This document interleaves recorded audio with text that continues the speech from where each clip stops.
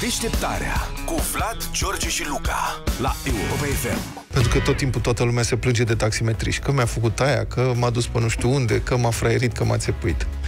Dar atât de rar îi ascultăm pe taximetriști spunându-ne ce probleme au ei cu clienții, încât din când în când cred că ar trebui să facem asta, poate chiar mai des. Și de la ce ne-am luat? De la o filmare făcută într-un taxi în Cluj. Nu o să vină să credeți, filmarea este deja virală, circulă pe net. Uh-huh. 0372069599, sunați-ne uh, voi, taximetriști în primul rând, mă rog, taximetriști, uberiști, boltiști, ce mai avem? Transportatori persoane. Transportatori uh, persoane, da. Să vedem ce întâmplare de ce întâmplare de neuitat ai avut cu un client? Când era să o pățești? Ce ai făcut? Cum ai ieșit din belea? Și acum, povestea următoarea. Noi o să dăm înregistrarea audio a incidentului care a fost filmat. Taximetristul respectiv din Cluj avea o cameră de bord care filma în interior. Uh-huh. Da? Și se vede așa, este noapte, în mașină intră clienți. Trei doamne care se așează toate în spate, pe bancheta din spate, și un domn care se așează lângă el. Și domnul îi spune, dumă nu știu unde, când pleacă, cineva din afară bate mașina. Zdrang, se aude tare, de două ori sau de trei ori. Evident, taximetristul frânează brusc, întoarce capul spre dreapta de unde venea sunetul, împreună cu ăsta, pasagerul din față, care și el este, ce ai făcut, mă, se aude tare, moment în care din spatele lui, exact din spatele lui, doamna care era în spatele lui, întinde mâna și încearcă să ia banii care sunt în parasolarul din fața șoferului. Uh-huh. Cealaltă clientă, cum ar veni, care este între, uh, la mijloc, pe bancheta din spate, are deja geanta deschisă. Adică era o mică operațiune de furt, înțelegeți? Îi atrăgeau atenția să se uite în dreapta și când se uita în dreapta, pac, cu mâna stângă aia de spate, băga mâna la torpedo, îi lua banii, punea repede La în geantă. parasolar. La parasolar. La parasolar. Hai, Ești torpedo. Parasolar, scuzați. Torpedo de, deas- tot de, de deasupra, da? Da. Domnule, omul se prinde în momentul ăsta și cu un calm ardelenesc de neînțeles, ăsta e lucru, al doilea lucru care m-a șocat, în primul rând îndrăzneala operațiunii, la care cum, participă cel puțin 5 persoane. Și sunt sincronizați perfect. Da, se vede că au făcut exerciții. Dar taximetristul nostru ardelean, vă rog, poftiți afară. Deci vă rog, poftiți, vă rog la revedere, ăștia protestează, vă rog frumos, ieșiți afară. Bă, frate, cum vă rog frumos? În Păi da- București cred că ieșea cu totul altceva. Păi, Dar pune-te în locul lui adevărul, e că e greu să, ce, să intri în conflict. Sunt totuși patru oameni, tu ești într-o poziție Plus incomodă. ăla de afară. Volanul în brațe, Da. ai un om bărbat în dreapta și tre- trei persoane în Aha. spate. Mie mi se pare că sunt două femei și un bărbat. Eu am văzut trei doamne Și eu acolo. am Nu văzut trei contează, doamne, mai dar nu puțin contează. important. Da. Ce faci ca taximetrist E când ingrată poziția. ești ținta unei tentative de furt, de jaf, ți-e teamă de tâlhărie, ați trecut prin asta? 0372069599. Hai să ascultăm sunetul și revenim după aia. Salut! Deci intră în mașină. Salut! Salut! Numărul 29, te rog. Îți dă o adresă Și pleacă. Și Oh, bă! ăsta. Se prinde, Da, stai jos din mașină. Coborâți jos acum, nea. Coboră jos. coborâți jos acum. Na. Coborâți, coboră jos din mașină. Acum, nea. Coborâți, vă rog, frumos jos. Bă, dar ce ai pățit? Zâne, ce ai pățit? Coborâți frumos jos acum din mașină. Dau indicativ 100. Vă rog frumos, coborâți acum jos din mașină. Vă rog frumos, coborâți jos. Da, pentru ce, mă?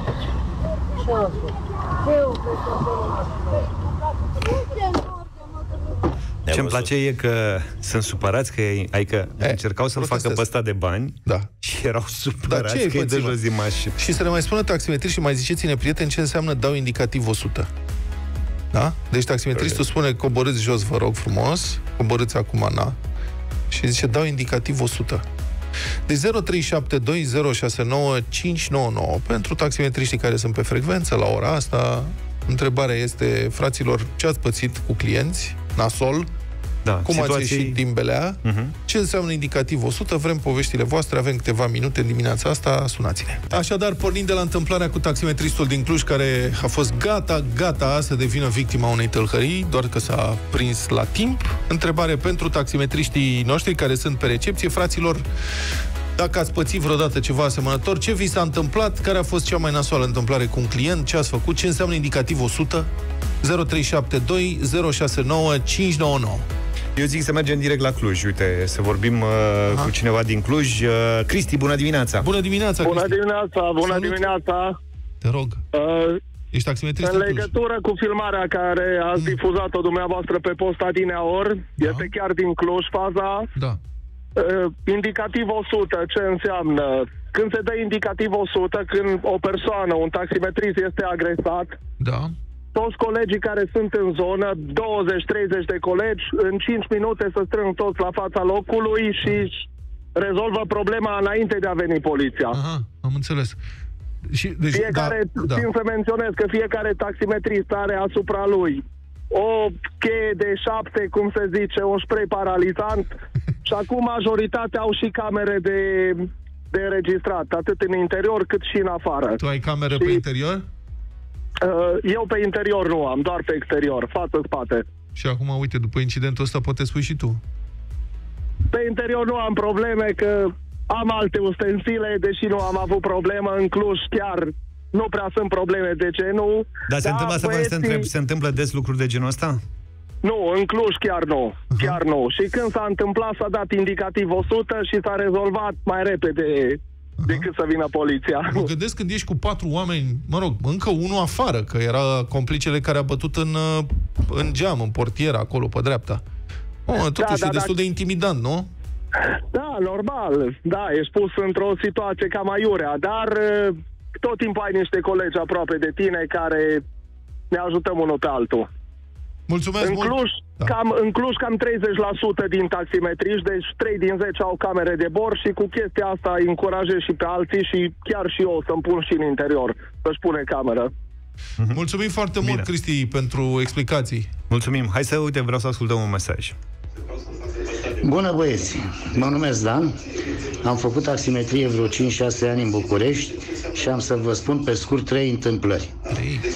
Una, am pățit și eu uh, în București, mi-au furat toți banii de la parasolar, erau încasările pe 2-3 zile.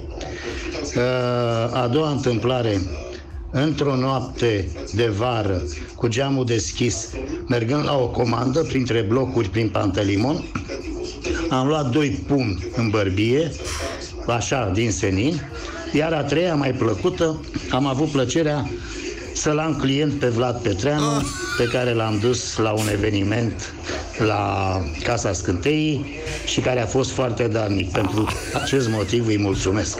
Cred că luați o primă ceva, că altfel nu-mi Mulțumesc. explic. Da. Nu, să știi că sunt darnic de obicei și cu Uber și cu taxi. Dar, mamă, cum sunt astea, frate. Dar, în primul rând, eu nu înțeleg de ce să ții banii la parasolar Pe unde se țină? și în casările două, trei zile pui o borsetă pe tine, de ce sus la parasolar? În general, acolo am Mai văzut că e comod. mai simplu, îi scoate, dă rest. și Păi chestii. da, sunt și, uite, sunt și simplu de furat. Da, nu, cum să fie simplu, că teoretic sunt fix deasupra ochilor tăi și la, un- într-un loc în care teoretic n-are cum să ajungă un client. Eu m-am mirat, eu nu știam, sincer, nici nu m-am uitat vreodată unde țin taximetriștii, banii nu mai interesează Păi se chestia vede. asta, însă, nu, dar nu, Se văd. acum e prima dată când aud că se țin la parasolar. Eu habar n-am, habar n-am, n-am văzut niciodată, dar încă o dată, deci nu m-am uitat. Uh-huh. Și Am astfel de preocupări. Țenii particular la parasolar țin de obicei actele. Uh, Da, asta știu că unii mai țin de la mașină pe care am mai împrumutat de la prieteni sau mi-au zis că talonul e la parasolar. Mi se pare o greșeală, o prostie, cum să lași talonul în mașină. E, că dacă, Doamne ferește, spără mașina, pa, Păi pa. asta spun. 0372069599 Stă ne vorbă cu Florin din București. Neața. Salut, Florin! Neața, domnilor, Salut, Florin! sunt taximetrist în București de ceva vreme. Da? Mi s-a întâmplat și mie. Tehnica asta cu luatul banilor de, de la parasolar este destul de veche. Am auzit-o printre colegi. Aha. Uh, Păi și Doamna- dacă e tehnică veche Păi, și se băieți, știe, dacă- stai puțin, dacă e tehnică veche și se știe, mai țineți banii la parasolar? unii mai țin nicio, mai țin, dar nu-mi dau seama de ce. Nu știu.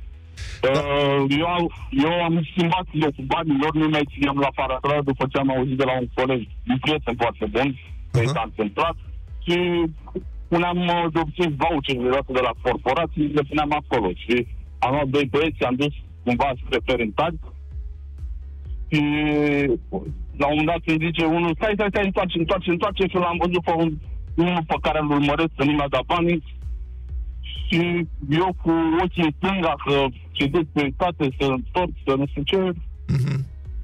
au desfăcut parasolare și-au dat seama că pe vouchere, hai că coborâm mai repede, ne-a aruncat, nu toată suma care era pe aparat, a aruncat Da. așa de mers, dar când m-am uitat în spate, toate voucherele mele erau aruncate pe jos, cu pancetă, în spate.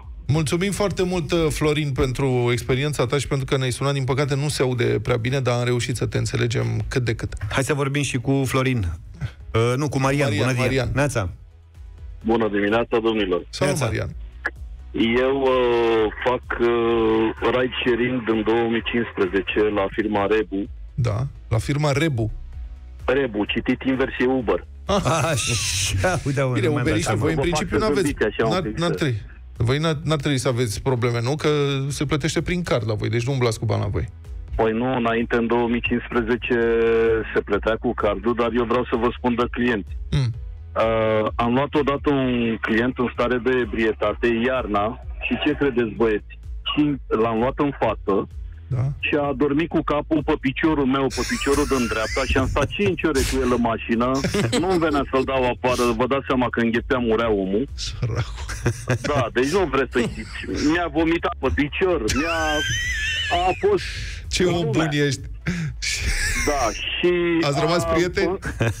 Uh, păi nici nu știu că săracul nu s-a trezit. L-am dus până în fața blocului, l-am lăsat în casa scării, Dumnezeu cu mila, ce-o fi pățit, sper să nu fi pățit nimic. Mamă, mamă, ce Iar poveste. uh, încă două chestii, poate credeți că vă mint, dar credeți-mă că nu. Am luat uh, două familii la vreo două, trei luni diferență una de alta și și-au uitat copiii în mașină venind de la nuntă. Știți cum e, stimați domni, să te trezești la două dimineața să iei o clientă să spună nu vă supărați, aveți o fetiță în spatele mașinii. La început, clienții erau reticenți, nu vorbeau cu noi, că le era frică, nu prea discutau cu noi. Și zic, a, în sfârșit am găsit și o persoană care e cu Caterinca, cu alții. Nu, domne, chiar aveți o fetiță în spate. Vă dați seama că mi-a trecut toată viața până ochi, așa, zic, mamă, ce fac cu copilul? Păi copilul n-a zis Că nimic până atunci? Era să Copilul dorme dormea dus. acolo, domne, în spate, chicit în spatele meu la scaun acolo. Era noapte târziu. Mamă, da. ce tare sunt poveștile Mulțumim, astea. Marian. Deci asta e E prima ceva dată ireal. când aud de copii uitați în, de sugari, Doi. uitați. Da, în două rânduri, uitați în mașina taximetristului. Hai să mergem și în uh, Suceava. Andrei e de acolo. Bună dimineața. Bună, Andrei. Bună, bună dimineața! Salut. Neața. Sper să mă auziți bine. Da, da. Da. da. Da. Uh, eu am fost taximetrist acum vreo, nu mai țin minte, 9 ani, în Da. Suceava, timp de vreo 4 ani, Mhm. așa. Uh, ce mi s-a întâmplat mie bine? S-au întâmplat mai multe, dar uh, ce mi s-a întâmplat tipic să iau clienți să nu-mi plătească sume destul de mari, de 100, 200 de lei. Păi și cum fac? Că ajung Așa. la, sfârșit, la finalul cursei și ce zic? N-am bani și ce faci? Azi, n-am, nu că n-am bani. Mi s-a întâmplat cu un, uh, taxi, cu un uh, client uh, de etnie romă, nu mă referesc să zic, de obicei cu ei se întâmplă. Așa.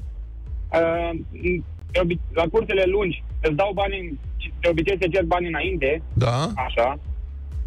Dar uh, eu nu am cerut, că am mers pe încredere, ajung acolo la destinație, s-a, s-a întâlnit cu alți băieți de lui, a început să vorbească în limba lor, m-am prins imediat că nu o să mai văd banii, am dat totul jos să vorbesc cu el și Și de ce n-ai cerut Efectiv, ajutorul m-am- altor mi-am- taximetriști? Pentru că nu eram în zonă. Ah, nu. Eram plecat, eram de, am Ah. plecat de la Suceava spre Botoșani. Și ai plecat fără bani. Și ei și am plecat fără, am plecat fără bani, adică la am pus tichetul, i-am pus uh, ceasul, normal, Da. și când am ajuns acolo, na, era cu băieții lui, ce puteam să mai fac? Eu, eu singur, ce puteam să fac contra 5-6 câte erau ei? Da, Da, din păcate o îmi experiență pare rău, neplăcută. Hai să mergem și la Constanța, de obicei ne dă mesaje. Taximetristul de serviciu e cu noi. Bună dimineața, Marius. Salut, Marius. Bună Dai- dimineața de la Constanța, vă deranjează taximetristul Taxistul de, de serviciu. serviciu. Domnule dragă, în privința banilor, borseta este sfântă. Da. În borsetă ții și telefonul și actele și banii, inclusiv încasările de peste zi. Da. Camera de la vedere de pe mașină este sfântă, la fel, interior, exterior, foarte bună. Sunt unele camere care au și înregistrare vocală. Aha. Clienți, veniți la Constanța și găsiți toate modelele, toate felurile, toate tipurile. Uh, boss, uh, manele, ai geamuri fumurii sau aer condiționat și așa mai departe. Geamuri fumurii? Dar Nu de ce la vor tax- geamuri la fumurii? taximetrie- A, la taximetrie încă se mai poate, câte unii, da, aveau. Găsiți orice la Constanța. Dar ai pățit ceva nasol vreodată? Adică ți s-a întâmplat o întâmplare de asta pe care o ții minte? Da, întâmplare, de exemplu, am luat o doamnă în vârstă, uh, am dus-o la Carrefour, băi, am dat numele, Mă. și uh, am lăsat-o, am coborât din mașină, am coborât și bagajele, Da. după care uh, se urcă o doamnă, în acela, doamna îmi dă comandă, spune unde să merg, în același timp mă sună un coleg, băi, zice, vezi cum fac, că nu știu adresa, nu văd aia, nu văd aia, și eu încerc să, vorb, încerc să vorbesc cu tipul în telefon, având casca pe urechea stângă, pentru că stăm cu geamul deschis, da? Da. Doamna din față începe. Vai, domnule, vorbești singur. E foarte greu de dumneata. Ai gânduri multe. Și eu mă întorc către ea. Doamne, am, am în ureche. A, e și surd pe deasupra. Mulțumim, Marius, mulțumim tuturor pentru poveștile de azi. Deșteptarea cu Vlad, George și Luca la Europa FM.